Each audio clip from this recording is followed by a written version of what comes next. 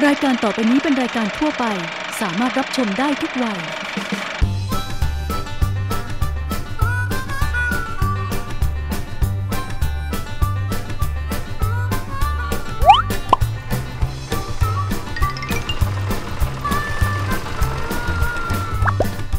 เกษตรแนวใหม่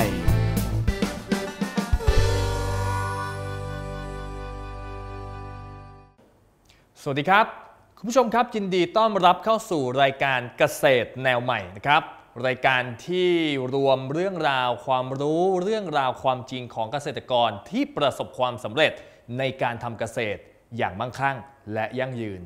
สำหรับคุณผู้ชมท่านใดนะครับ ที่ปลูกกระชายอยู่ อย่าพลาดชมรายการในตอนนี้เป็นอันขาดนะครับ เพราะผมเชื่อว่าเรื่องราวชีวิตของเกษตรกรท่านนี้ จะสามารถเป็นต้นแบบที่ดีมาก ๆ ให้กับใครหลาย ๆ คน ไม่ว่าจะเป็นเรื่องของเส้นทางการสู้ชีวิต การใช้ชีวิต หรือแม้แต่เรื่องของเทคนิค และวิธีการปลูกกระชายอย่างไรให้ประสบความสำเร็จ ถ้าคุณผู้ชมพร้อมแล้ว ไปติดตามชมกันเลยครับ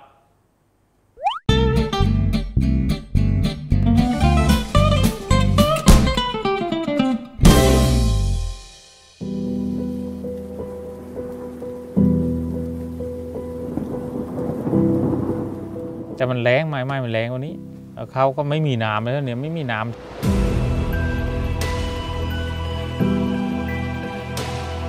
พอไปทำเยอะเพียมันลงก็ไม่ได้ดีมันก็เลยเป็นนี้เขาใหญ่ ก็ยังไม่ไม่ได้ดีเท่าไหร่หรอกเพราะว่าเราปุ้ยเรายังมันก็ใส่ยังไม่ถึงไม่อะไรเงี้ยยังไม่ค่อยรู้สูตร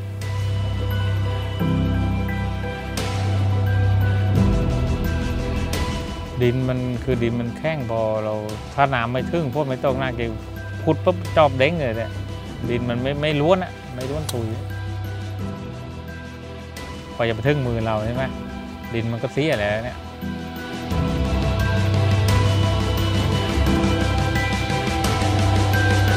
พอไปทำงานที่บ้านมันไปทำงานต้องปีกว่ากลับมาปลูกกระชายนะ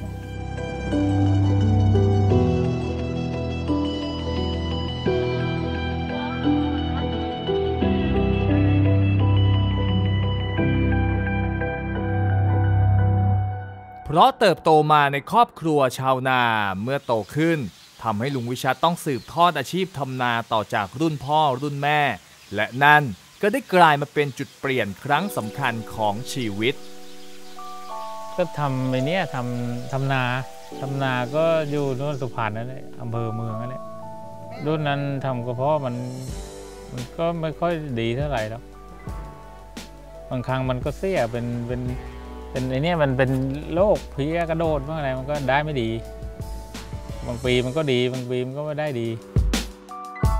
ถึงแม้ว่าข้าวจะเป็นพืชเศรษฐกิจที่สำคัญ แต่ไม่ว่าจะผ่านไปกี่ยุคกี่สมัย ชาวนาไทย ก็ยังคงเผชิญความลำบากอยู่เสมอ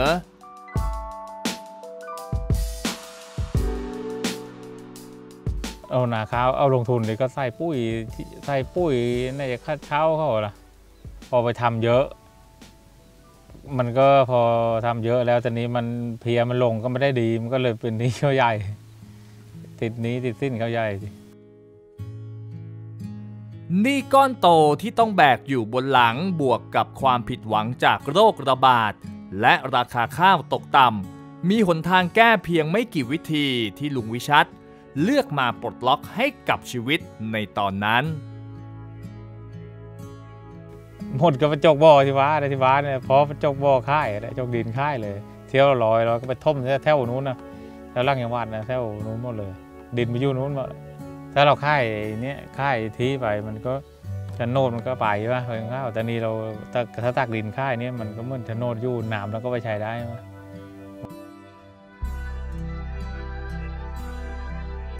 แต่นั่นก็ทำให้ที่ดินไม่สามารถทำนาต่อไปได้ ชีวิตจึงต้องยกย้ายเพื่อหาที่ทำกินใหม่ ก็มาโอกาสที่ไปแล้วนี่ก็มาเที่ยวพี่น้องอยู่นี่นะอยู่ตำเนี่ยไร่ผลนี่ก็มาเที่ยวเฉยพอมาเที่ยวมาห้าเข้าเราว่าเออทีนี้มันก็น่าอยู่ดีมันนี่ก็เลยมาอยู่นี้ ก็เลยมาซื้อเนี่ยต้องร้ายก่อนก็มาอยู่เนี่ย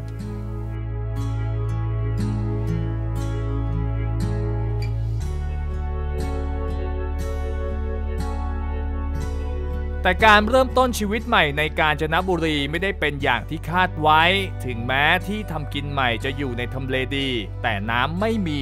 ผลผลิตจึงไม่ได้อย่างที่คาดหวังไว้ แต่มันแรงไหมไม่มันแรงกว่านี้ ปีตั้งสี่สิบแปดนู้นนะมันมา แรงมากเลยตอนนี้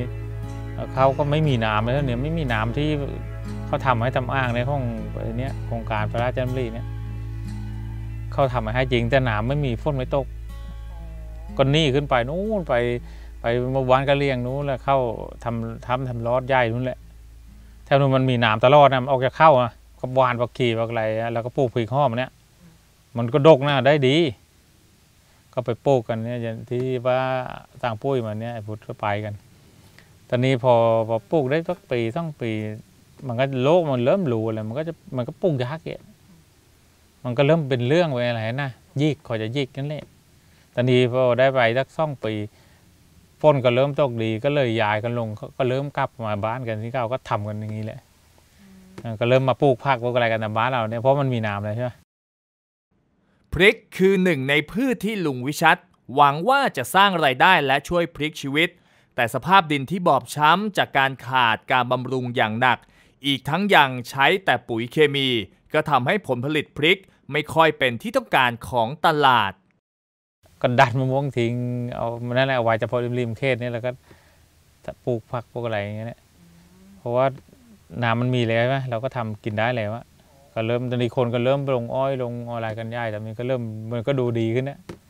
ทีแรกก็คิดก็อาจจะปลูกพวกไอ้พริกพวกอะไรเนี่ยผักอะไรนิดหน่อยอย่างเงี้ยแหละก็ลงพริกก่อนเลยนั่นแหละพวกพวกพวกอะไร แต่มันก็ได้ไม่ไม่ดีครับใช่ มันมันเป็นโรคกันแหละ มันก็พอพอจะเริ่มเข้มมันก็จะยิก พอยิกแต่มันก็มันทั้งว่าเม็ดด่าง เม็ดมันจะข้าวปนเขี้ยวอะ พอเก็บไปใส่ทุ่งไปแม่ค้าเขาก็ตีมันใช้ไม่ได้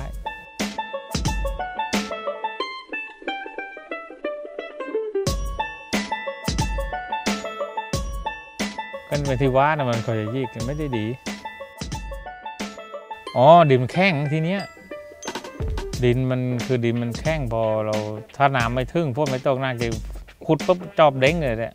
ดินมันไม่ไม่ล้วนอะไม่ล้วนซุยอะอ๋อหลังดินไม่ร่วม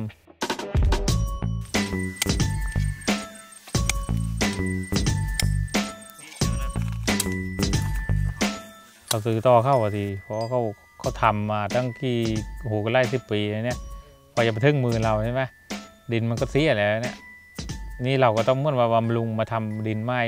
เนี่ยพวกห้าเราก็ห้าพวกอินทรีย์หรืออะไรต่ออะไรมาใส่ขี้หมูอะไรบ้างเกษตรกรหลายท่านยังมีความเข้าใจผิดนะครับ ที่คิดว่าปุ๋ยเคมีนั้นคือคำตอบในการแก้ปัญหาทุกสิ่ง และแน่นอนครับว่าหลายคนนั้นอาจจะได้ผลผลิตที่ดี แต่ส่งผลเสียให้ดินเสื่อมโทรมในระยะยาว ซึ่งนำมาสู่ต้นทุนที่เพิ่มสูงขึ้นนะครับ และแน่นอนว่าไม่ใช่แค่พืชพันธุ์ที่ต้องการการดูแลเอาใจใส่ ดินก็ต้องการการดูแลที่ดีเช่นเดียวกัน และปุ๋ยอินทรีย์ก็คือทางออกคือทางเลือกที่ง่ายที่สุดของเกษตรกรในเวลานี้นะครับ ในการที่จะพลิกฟื้นผืนดินที่เสื่อมโทรมให้กลับมาอุดมสมบูรณ์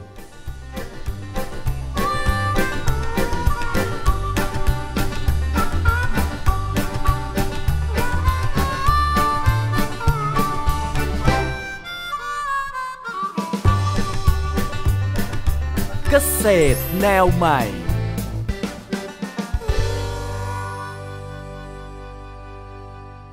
เกษตรแนวใหม่ พ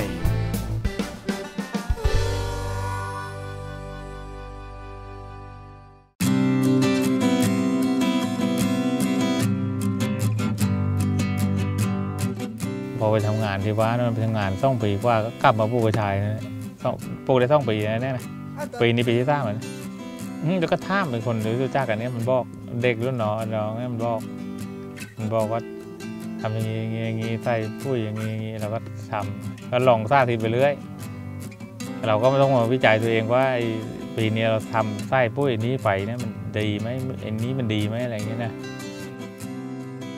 การเปลี่ยนมาปลูกกระชายของลุงวิชัดจากคำแนะนำของคนรู้จัก ก็พบความผิดหวังอีกครั้ง เพราะดินเสื่อมสภาพมานาน แต่นั่นก็ไม่ทำให้เขาหยุดทำมันต่อไป ปีแรกมันก็มันก็ยังไม่ไม่ได้ดีเท่าไหร่หรอกเพราะว่าเราปุ้ยเรายังก็ใส่ยังไม่ถึงไม่อะไรเงี้ยมันยังไม่ค่อยรู้สูตรตอนนี้พอปีที่สองก็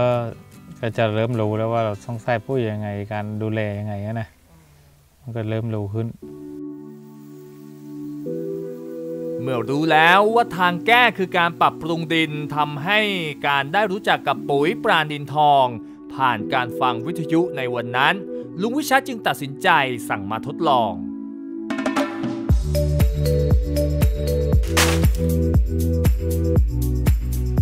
ก็นี่แหละฝั่งวิทยุนี่แหละแล้วเขาก็เล่าเรื่องการใส่ปุ้ยเข้าปุ้ยนั่นแหละว่า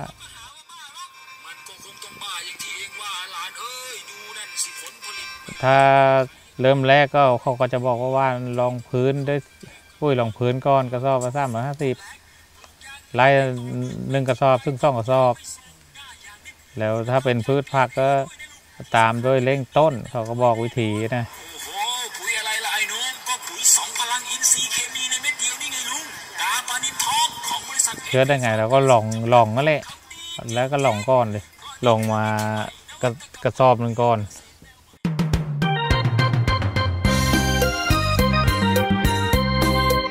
ผลิตภัณฑ์ปุ๋ยปราณินทองคือผลิตภัณฑ์ปุ๋ยที่ได้รับความไว้วางใจจากเกษตรกรทั่วประเทศ และยังเป็นหนึ่งในผลิตภัณฑ์ปุ๋ยที่เติบโตเร็วในประเทศไทย เพราะมีสูตรให้เลือกหลากหลาย มีราคาย่อมเยา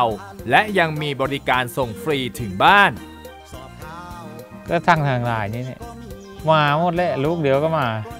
ก็โฆษณาลูกมาส่งเขาก็มาส่งเขาก็ปืนมาส่งให้ เห็นไหมครับว่าปุ๋ยปลานินทองทดลองแค่กระสอบเดียว เปลี่ยนชีวิตการทำเกษตรของลุงวิชัด ถ้าอย่างนั้นลุงวิชัดพอจะแนะนำวิธีการปลูกกระชายได้ไหมครับ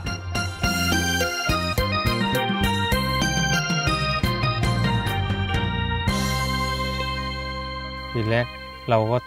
ไถ่ก่อน ไถ่เราไถ่แล้วเนี่ยพันซ้ามอะนะ ไถ่เสร็จ เราครั้งแรกก็ไถ่พันซ้ามไป แล้วครั้งที่สองเราก็เราก็แปรแปรอีกไถ่แปรอีกพอแปรแล้วก็เราก็ปั่นรถปั่นปั่นร้องนะมันรถปั่นปั่นไอ้รถปั่นหนาแล้วนะปั่นยกร้องนั่นแหละพอปั่นยกร้องเสร็จ เราก็จิ้ม วัสดุปรับปรุงดินปรานินทองถูกนำมาใช้หว่านลงดิน หลังจากมีการยกร่องเพื่อช่วยฟื้นฟูสภาพดินที่เคยถูกใช้งานอย่างหนักจากการใช้ปุ๋ยเคมี ให้มีค่าความเป็นกรดด่างที่เหมาะสม และยังช่วยเติมธาตุอาหารเข้าไปในดิน ใช้แล้วดินจะฟูนุ่ม มีขุยไส้เดือน มันก็ดินดินก็ล้วนขึ้น พอเราเดินเนี่ยมันก็จะรุ่มร่วมอะเหยียบอะนะ ไอ้เราไส้เดือนว่ามันจะกลับมา มันมีไส้เดือนมันจะขึ้นขึ้นขึ้นมาเป็นคุยๆอะตำตำพื้นดินนี่นะเนี่ยนะก็ไอ้ไส้เดือนเนี่ยนะมันมันไอ้นี่มันทำให้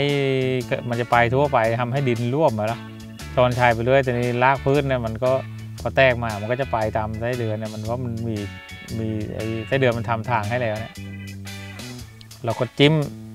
เอาหัวกระชายอะจิ้มจิ้มเป็นแถวนะเหมือนจิ้มหอมมาแหละจิ้มจิ้มจิ้มจิ้มไป เราก็เอาแล้วแต่เราจะชอบกี่หัวละแล้วแต่เราลองระว่างลองหนึ่งเนะเป็นเมื่อเราดำนานะ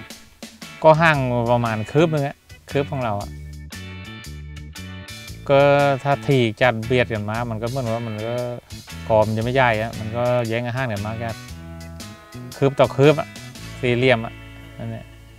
แต่แต่เราก็จิ้มไปแถวหนึ่งก็ประมาณหกเจ็ดทั่วแล้วแล้วแต่เราจะชอบที่ชอบห้าง ก็จนมันแตกกันแหละแต่ประมาณทักตีว่าประมาณทักเกับเดือนนะยี่สิบกว่าวันน่ะพอมันแตกเริ่มแตกขึ้นมาได้ซ่องใบอะไรเงี้ยไปต้องใบแล้วก็ค่อยว่านไอ้ปุ้ยไอ้เนี้ยไอ้เล้งต้นสิบห้าห้านะไอ้พวกนี้สิบห้าห้าถ้าได้ต้นแล้วนะต้นสมบูรณ์ใบสมบูรณ์อะไรแล้วนะมันแตกกอแตกกระแนงอยู่แล้ว เราก็เริ่มมันจะมันจะเริ่มลงหัวหน่อยเราก็เอาแล้วเราก็ใส่ประมาณสามเดือนแล้วเราก็ใส่ไอ้นี่เลยใส่ไอ้เจ็ดสามสิบเล้งหัวอย่างเดียวตัวนี้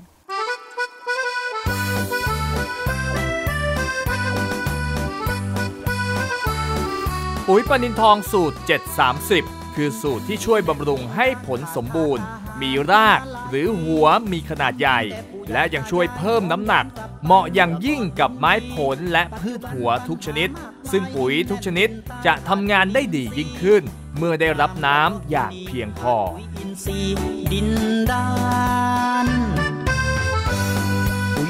ก็ใส่แล้วก็เปิดสปริงเกอร์ลดน้ำให้ให้ใหมันโชกให้มันละลาย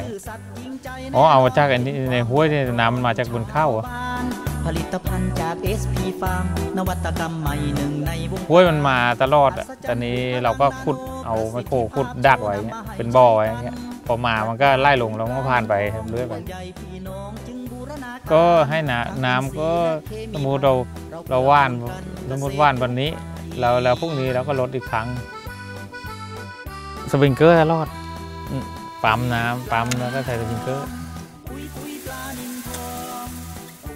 ในส่วนของขั้นตอนการเก็บเกี่ยวก็เป็นอีกขั้นตอนสำคัญ ซึ่งเกษตรกรท่านนี้ก็มีเทคนิคดีๆ ที่จะทำให้ผลผลิตไม่ช้ำ และยังทำได้อย่างรวดเร็วมาฝ่ายอีกด้วยครับ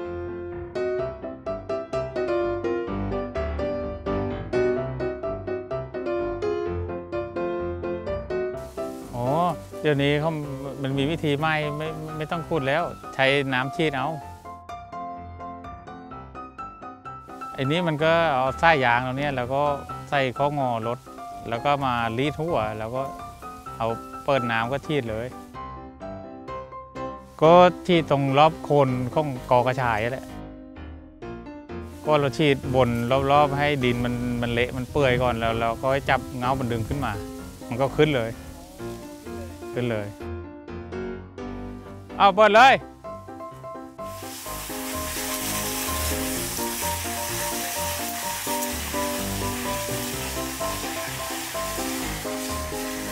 นี่มันนี่คืออายุมันยังน้อยอยู่มันยังอ่อนอยู่ มันยังไม่ยาวเท่าไหร่ปีที่แล้วมันก็ไม่ไม่ค่อยไม่ไม่ค่อยยาวเท่านี้ มันจะสั้นกว่านี้กระชายที่ดีก็ต้องต้องยาวแล้วก็อ้วนนั่นแหละนั่นแหละไอ้ไอ้นิ้วมันนะนิ้วมันนะมันจะต้องต้องอ้วนแล้วก็ยาวลากลากมันก็ต้องก็ต้องลากเยอะลากยาว มันก็ช่วยไอ้ การเจริญเติบโตของต้นมาดิถ้ารากเยอะดีต้นมันก็สมบูรณ์ใช่ห้าอาหารกินได้ดีใช่ถึงแม้ว่าในวันนี้อาจจะยังไม่มั่งมี แต่เชื่อว่าลุงวิชัดคงไม่เสียดายเวลาที่ผ่านมาใช่ไหมครับ มันไม่ มันไม่ไม่ได้ด่นะมันอยู่นี่มันก็ดี มันก็ดีอย่างไอ้นู้นบ้านหนูมันก็ดีอย่าง ก็ก็ไม่ถอนะมันก็มันมันก็ดีขึ้นนะต่ก่อนมันก็แย่ลงที่ไม่ได้ปลูกกระชายนะทั้งปลูกกระชายมันก็มันดีขึ้นแต่มันยังไม่รวยแค่นั้นแหละแต่มันก็มันก็มันก็ดีกับที่เราทำอย่างอื่นมาไล่ย่างไล่ปีมาแล้วนะไม่ไม่ไม่ดีอะ